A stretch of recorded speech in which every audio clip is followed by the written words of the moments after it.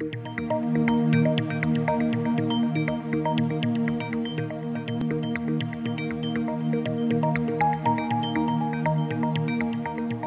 you have a quorum. Great. Um, and you'll be called out according to the last three digits of your phone number. So, um, all right, uh, let's move on to approval of minutes. Do we have a, a motion to approve the July 14th, 2020 regular session minutes? So moved. I'll uh, It's been- it's been moved and set, it's moved by Councilmember Martin, seconded by Councilmember Peck. All in favor, say aye. Aye. Aye. All opposed, say nay. All right, the motion passes unanimously. All right, um, it looks like, um, uh, do we have any agenda revisions? Anybody want? Councilmember Mayor. Christensen. Oh. Sorry, I see that Apologize. revised, I see that there's a revised ordinance for item ten A regarding the dismount zones. Very good. Uh, Thank yeah, you. I, I see that, but right now, just, is there, are there agenda revisions or submission, or motions to direct city manager and, and staff to bring back future agenda items? That's really what I'm asking for. Um, a while back, um, I requested a, um, uh, the police department to report on their use of force. That was mainly to educate the, um, the public on, uh, whether we should defund or divert police funding by ten percent to housing and human services. I know that, um, uh, the city manager and uh, the police department is working on that um, use of force statement. I would like to amend it to include um, whether they, whether our police department ever uses medical injections such as was used on Elijah McClain. Mayor Beck, Councilmember Peck, yep. thank you. Um, I, I agree with uh, Councilwoman Christensen, but um, I would like to have this in this report. Not, not only do the police use in any type of injections to calm a, an arrestee, or do, do the EMT uh, people use any injections? Questions? Okay, all right, that said, let's move on to city manager's report, an update on COVID-19. Harold? Uh, Mayor, Council. Um, so one thing that I want to touch on is not technically not COVID related, but it is this year. So I did want to report to you all um, that based on our mosquito trapping, um, we are going to be spraying um, on Thursday evening. We are following our policy and notifying those folks that are requesting the shutoffs. Uh, Again, you can see it decreasing. This is really echoing what the governor talked about today in his press conference. And, and when you see the chart associated with Boulder County, you, you're going to see a significant difference in terms of the age range uh, of people that are um, testing positive. Again, um, higher in the 20 to 29 year old population. And statewide, you can see this general decline. Um, this this diagram is the one that the governor was referencing today on his um, um, on his press conference. And, and what you really see is what's happening in, in other communities. When we were at the, the peak in April for us, you could see a 25% positive rate. That's really what they're seeing in some of the um, locations in the, in the states that are considered the hotspots today in, in Colorado.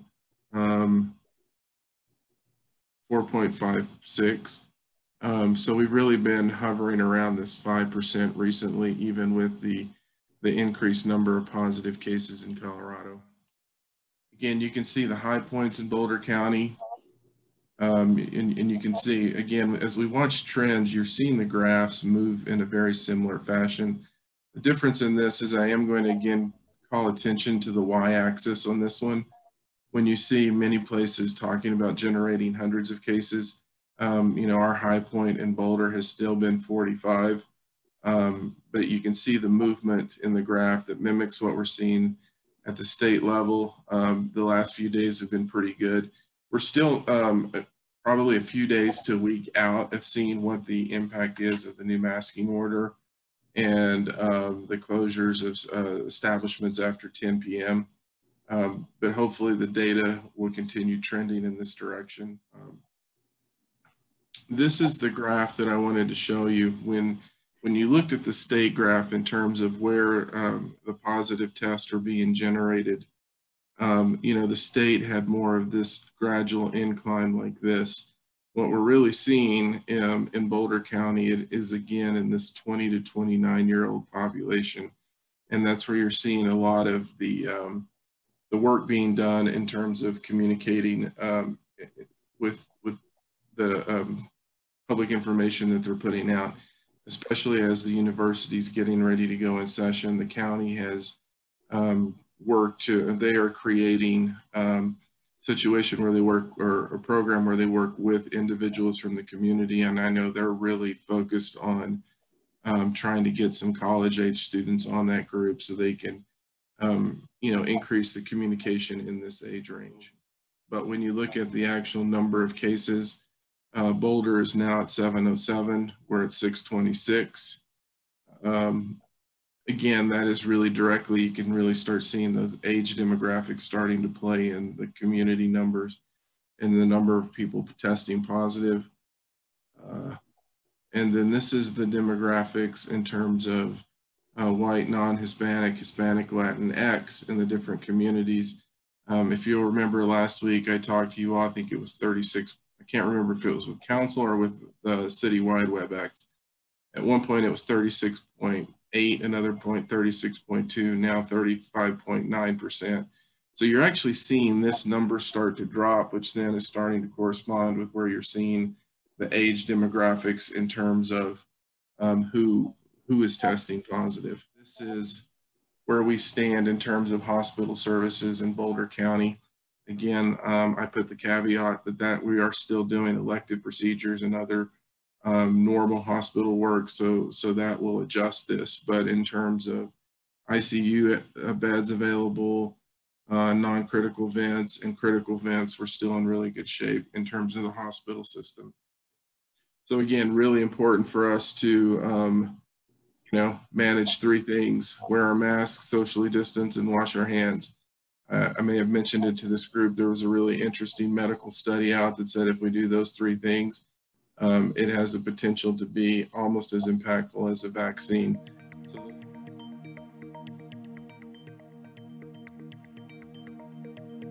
One moment. Uh, Mayor, we have eight guests that I've let in. All right, perfect. I'm sorry. Let's go ahead and start. Um, I'm here tonight to address some serious concerns with the prairie dog extermination permitting process. Um, I'm calling tonight to speak about the bike dismount ordinance as it's currently written. Um, I do think that there's some merit in the overall idea. However, I vehemently disagree with the fine structure that will ultimately either go unenforced or disproportionately affect our lower income residents. I want to tackle the, the fracking issue, which is coming up a little bit later, um, it, and just make a couple of comments of, on which I'm extremely concerned. First, I want to request that Dr. Helmig's contract be renewed when it comes up for renewal last next month. I use that data almost every day. I have asthma, COPD, so knowing the air quality is vital to understand whether I dare spend extensive time outdoors.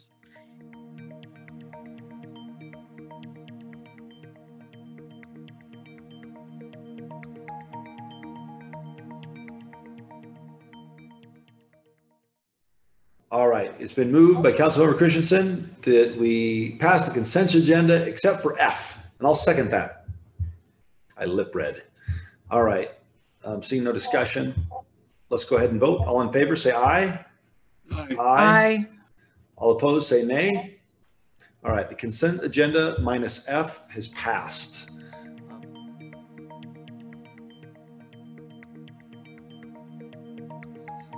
Um, let's move on to ordinances on second reading, specifically 10A ordinance. Uh, so uh, we would encourage the public to call in now. Um, and so uh, we've only got one. Uh, well, since the first reading of the ordinance, city staff and the LDDA worked with Bicycle Longmont on a couple of changes to the ordinance Mhm. in order to make it a little more bicycle friendly. Specifically, there are two changes that are being requested, and the first is the change is to actually change the dismount zone. So instead of the dismount zone being from First to Longs Peak, it would be different depending upon which side of the main street you're on.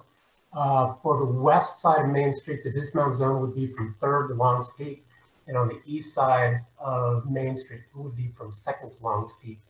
And this change was requested because there's no alternate route between First and Second on the east side of Main. And on the west side of Main Street, uh, bicyclists would like to be able to ride between Second and Third to access the regional bus stop just south of Third Avenue. I move approval of um, ordinance 2020-28 as presented in, in the agenda tonight. All right, I'll second that. All right, seeing no further discussion, let's go ahead and vote. All in favor of uh, approving ordinance 2020-28 on second reading, say aye. Aye. Aye. Opposed, say nay. All right, the motion passes unanimously. Thank you very much.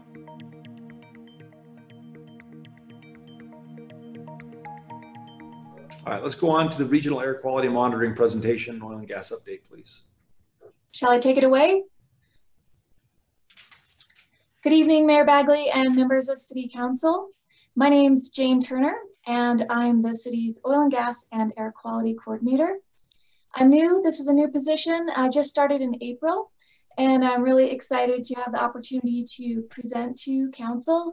I've spoken with a few of you over email, but um, it's nice to be able to have this opportunity to introduce myself to you as well as to Longmont residents. I'm a certified professional engineer and I have a PhD in air quality engineering from CU Boulder. And I'm really grateful to have this opportunity to work with a city that's being so proactive about environmental monitoring and showing such an interest in air quality research. So you can bring up the slides now. And I think I've introduced myself, so we can go to slide two. I'm going to be providing a brief update on some oil and gas activities, and that'll be followed by a presentation on the city's regional air quality monitoring by Dr. Detlev Helmig of Boulder Atmospheric Innovation Research. The first update is regarding production activities at the Stamp Well. The Stamp Well is an oil and gas well that's located on the northwest side of Union Reservoir. And some residents have expressed concerns about some of the production activities that have occurred, particularly between July 2019 and March 2020. During that time period, a workover rig was observed at the site, and the residents have expressed some concerns about whether any of these activities have been in violation of the city's agreement with Cub Creek Energy. Staffs reviewed the activities that occurred during this time frame. We've reached out to our contacts at the Colorado Oil and Gas Conservation Commission, the COGCC, because they regulate the activities at this site. And we've also spoken with our special oil and gas legal counsel, Phil Barber. Based on these reviews, it's the current understanding and belief of the city staff that the activities were in accordance with state regulations and that none of these activities have specifically violated the city's agreement with Cub Creek. The next update is also on the stamp well and it's regarding ongoing remediation activities there. This remediation is a separate topic and not related to the production activities I was discussing on the last slide. The remediation is happening because there was a spill, a leak of some fluids at the site, and that was identified on May 14th of this year. Workers at the site found that the source of the leak was a crack in a fiberglass tank this was a large holding tank, 100 barrels. It was stored above ground and it was holding produced water. So that's water that has come back up out of the well. There is right now no ongoing leak at the site. The tank that was cracked has been removed. There's no threat to residents that we're aware of. And regarding the Cub Creek agreement, the accidental spill at the site is also not in violation of that agreement. The last update I have for you is not about the stamp well, it's about the night wells. And these are oil and gas wells which are planned to be drilled in 2020 outside the city properties to the north. The night well pad is located directly north of Union Reservoir, but south of Highway 66. Now the night wells are still in the planning stages, but what is happening is that we have received construction plans for an access road that will allow the operators to get to that well pad. Those plans are currently being reviewed by city staff in the development and review group.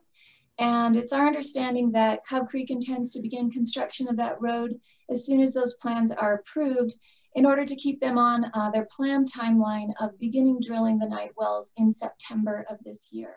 So now for the main event, we'll be hearing a presentation by Dr. Helmig on the city's air quality monitoring study. Good evening, everybody. Thanks for having me here on the call.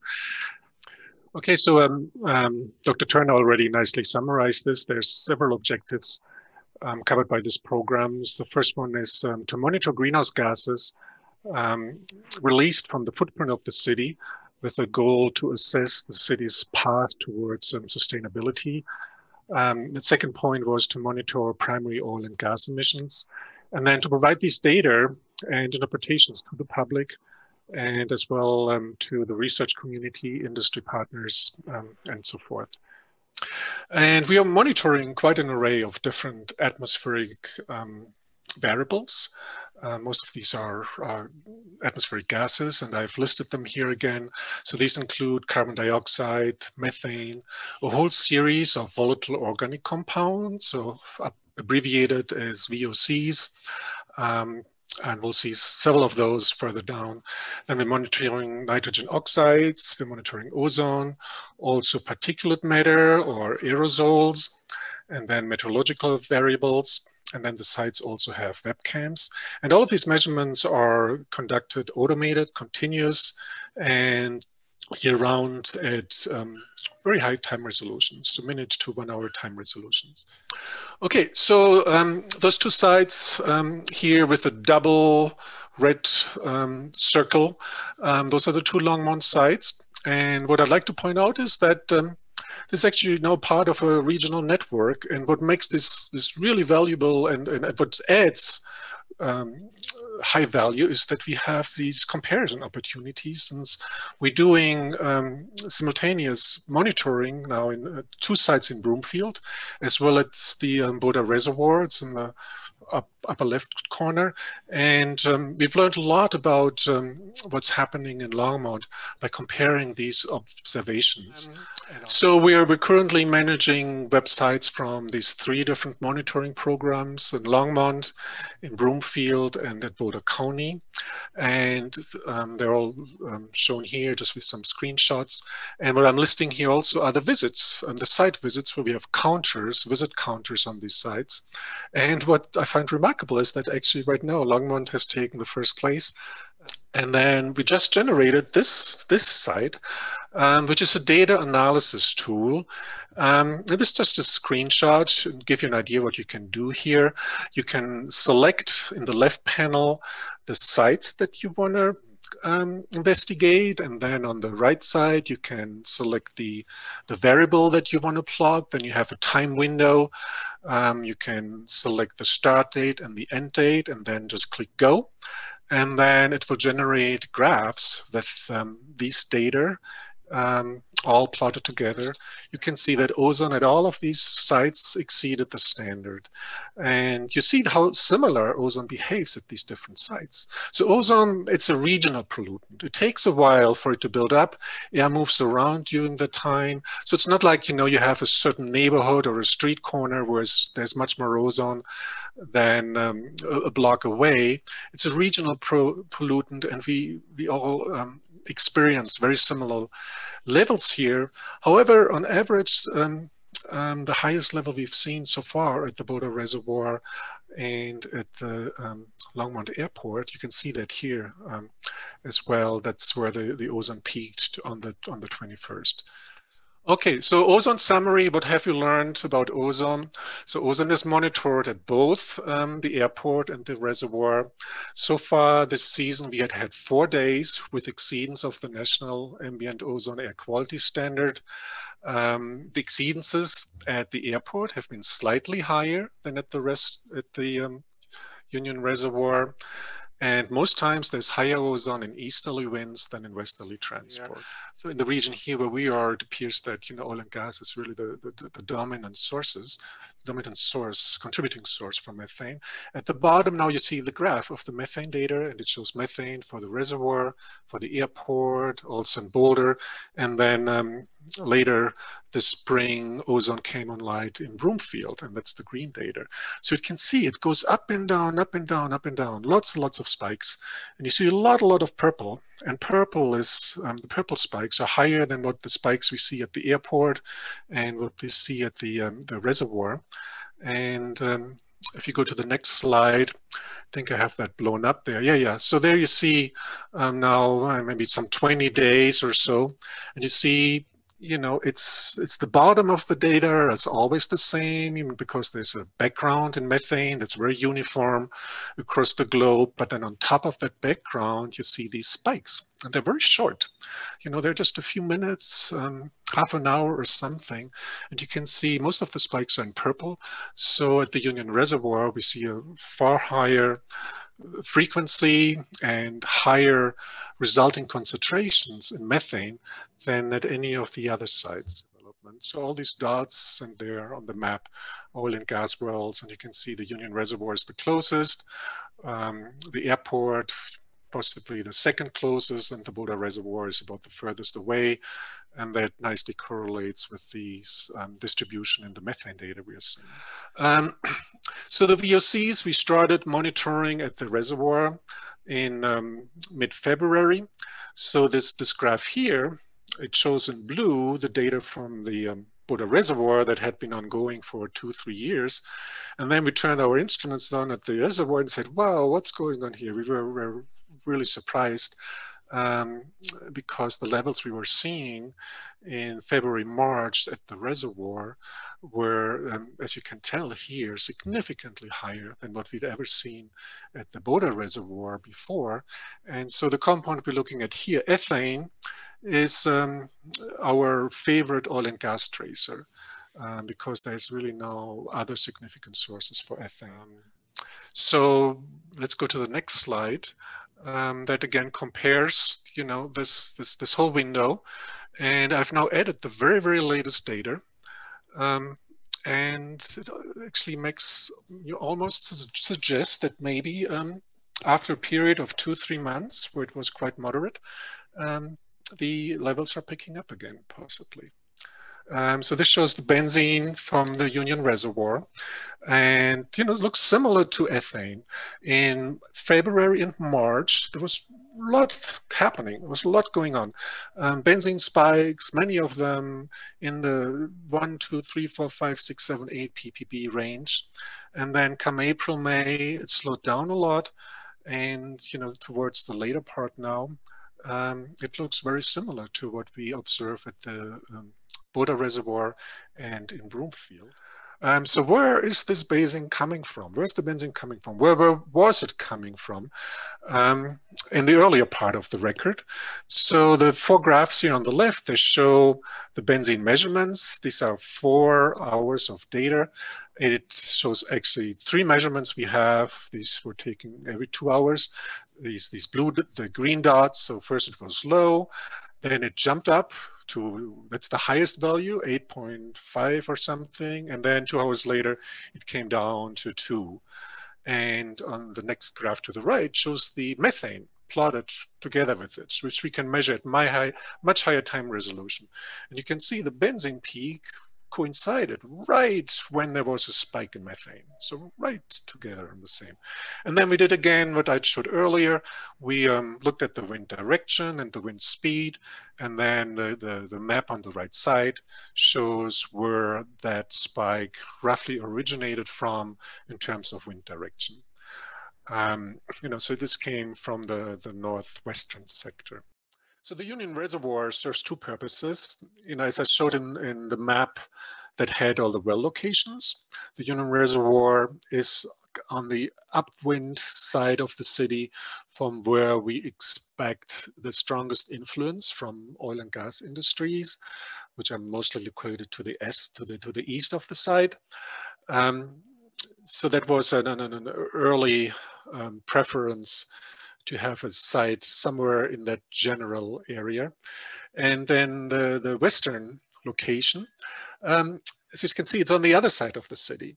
And the, um, the argument here is that we want to watch um, how air changes as it travels either east to west or west to east across the city footprint. And easterly and westerly winds are about the most, the two most prominent um, transport regimes we have here. Um, so this is largely driven by the motivation to monitor and watch over time the amount of emissions that's added to the air as the air travels to the city with the um, objective to watch the change in emissions and here in particular in greenhouse gas emissions from the city footprint. So this is driven, motivated by sustainability um, arguments. Um, the city has set itself the goal to drive greenhouse gas emissions down. So how do you monitor if and how the city is moving towards this goal? So there's this is actually really difficult to do. Um, but one of the things you can do is, is, is this, this map here, this, this, this cartoon, um, by watching how much is added as the um, air moves over the city. So we're doing exactly the same measurements in both locations using the same instruments, the same techniques, the same protocol for the primary greenhouse gases, which are CO2, which I didn't talk about at all really in the presentation, then methane, and also ozone. So in between those three gases, we have about uh, 75, 80% of the climate forcing um, of gases that are um, you know, contributed by, by human activities to, um, to global um, climate forcing. Um, so we're watching all those. Um, and, you know, if, if the, the city achieves its sustainability goal and cuts all its um, greenhouse gas emissions down to zero, then we should see, you know, the same behavior and very, very similar, similar levels in air as it travels across the city. And these are the two reference points that, that would be used for, for that comparison. And we already have, I didn't show it, but we, we've, we've pulled data and compared um, data from the two sides. And we nicely see, um, you know, how, how levels change as, as the air gets transported over the city footprint. All right. I thought the information was really good, Dr. Dutler, or Dr. Helmig. Thank you. Um, any other final questions or comments? All right, Dr. Helmig, um, as always, your information and knowledge is more than welcome here in Longmont, and we look forward to future updates, reports, and work from you. No, thanks for letting me to share this with you tonight. All right, great. Thank you, sir.